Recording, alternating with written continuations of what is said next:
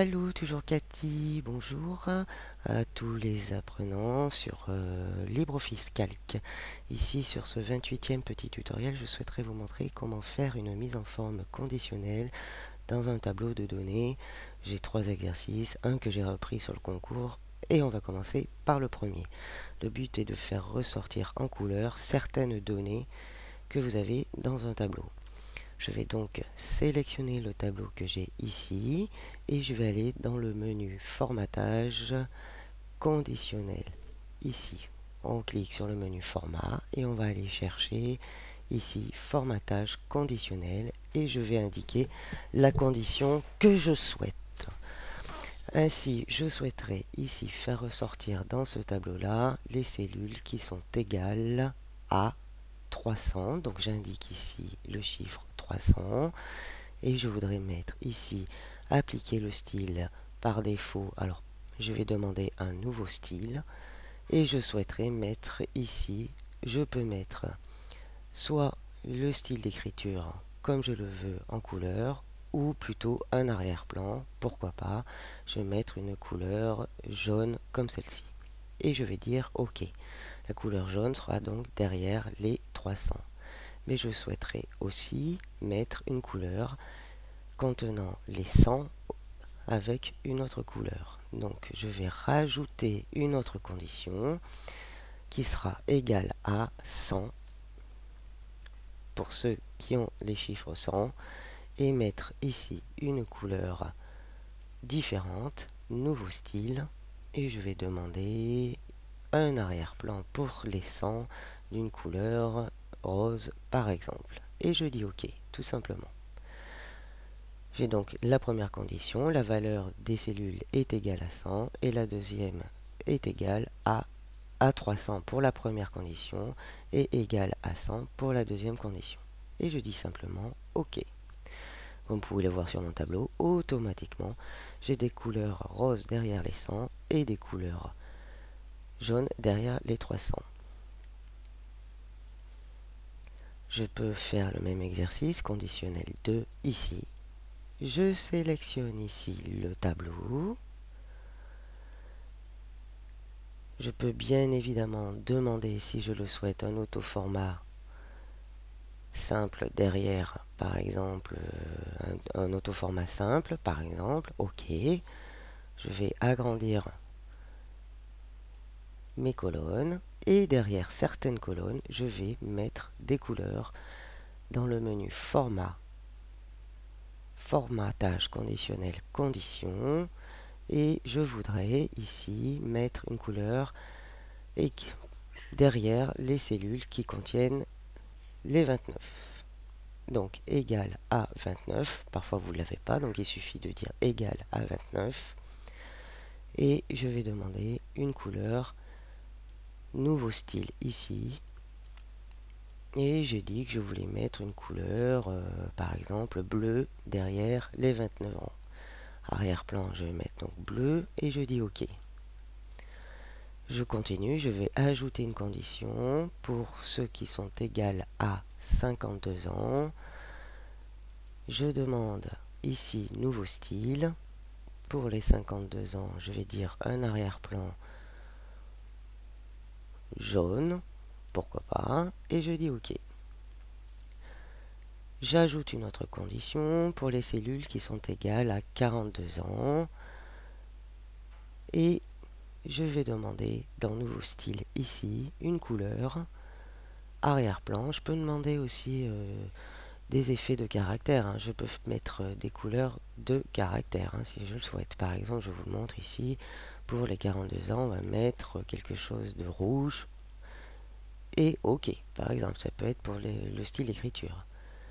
J'ajoute une autre condition. Et pour ceux qui sont égales à 50 ans, je vais dire que je veux une couleur, nouveau style, soit les effets du caractère.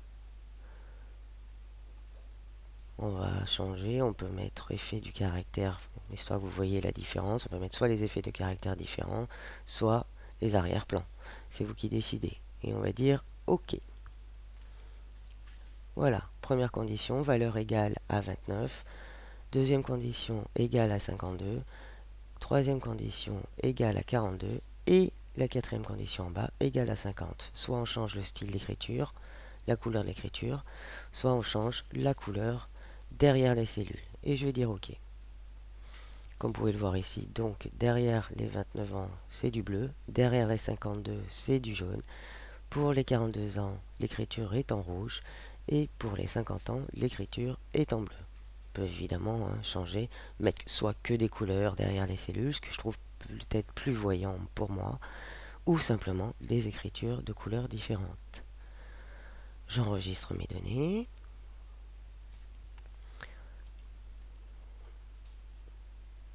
Je vais rajouter un nom, blablabla, blablabla, et je vais mettre ici 50. Et je fais entrer.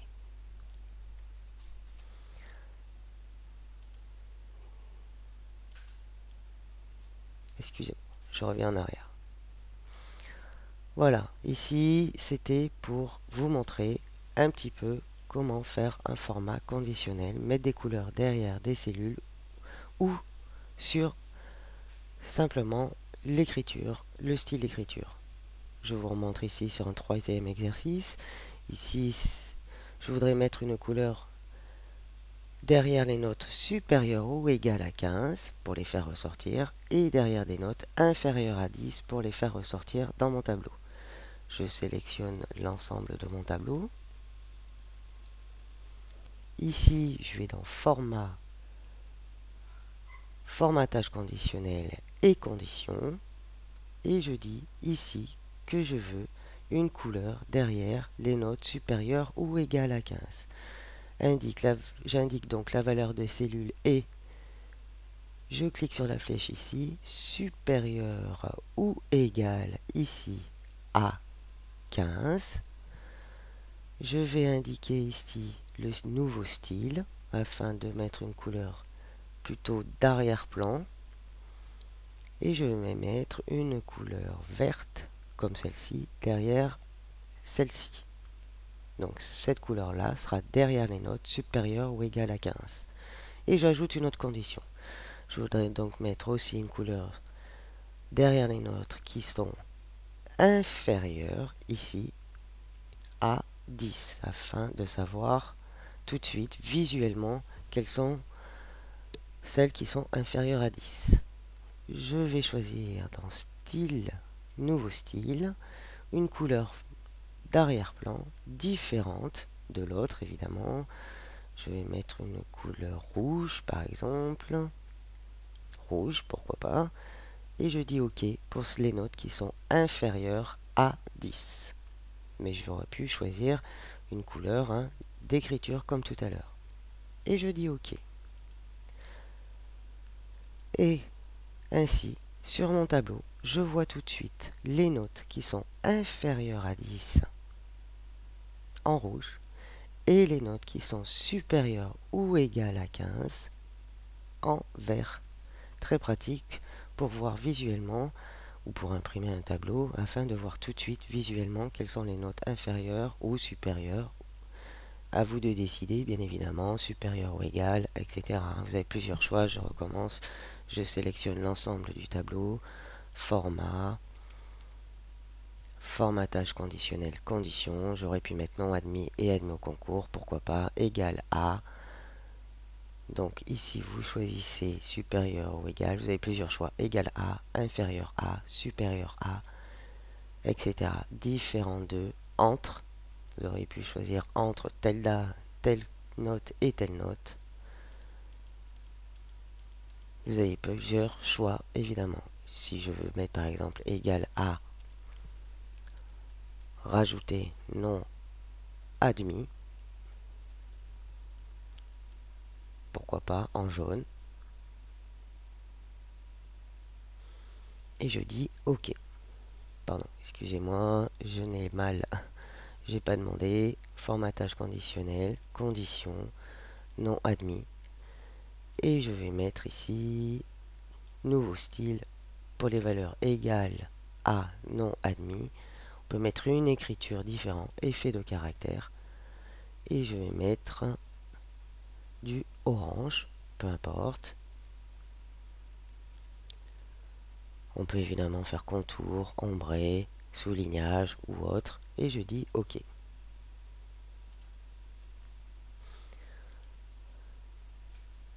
Mais le but ici était plutôt de mettre des couleurs derrière les notes supérieures ou égales à 15 ou inférieures à 10. Cela n'empêche pas de sélectionner le tableau et d'indiquer que vous voulez mettre un autofiltre sans aucun problème. Comme tout à l'heure, on peut cumuler les choses, le format conditionnel comme vous le voyez là, ou choisir ce que vous voulez avec les filtres ici. On peut mettre un filtre ici. Et ici, évidemment, sélectionner par exemple les noms admis. Ça n'empêche pas de cumuler le format conditionnel avec les couleurs et le format ici que l'on appelle format comme on l'a appris sur l'autre tutoriel auto-format avec les filtres on peut cumuler les choses ici je vais remettre donc l'ensemble des choses non admis c'était simplement ici pour vous montrer la mise en forme conditionnelle et mettre des couleurs derrière ce que l'on veut. Voilà, à bientôt pour un autre tutoriel.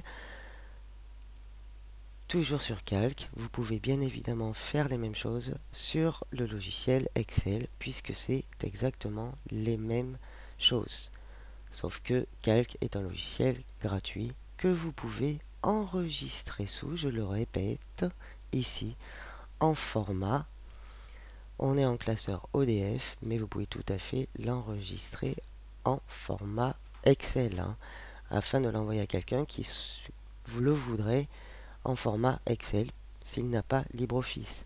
Donc très intéressant hein, d'avoir LibreOffice Calc Writer, puisqu'on peut les enregistrer en format Word, Excel ou PowerPoint selon ce dont, euh, selon ce que l'on a besoin, surtout lorsqu'on envoie un document à quelqu'un qui aurait que, que, que, Excel, que Word ou que PowerPoint. On peut tout à fait travailler sur LibreOffice et l'envoyer en enregistrement adaptable à Excel, à Word ou à PowerPoint. Voilà, je vous dis à la prochaine pour un autre tutoriel, toujours sur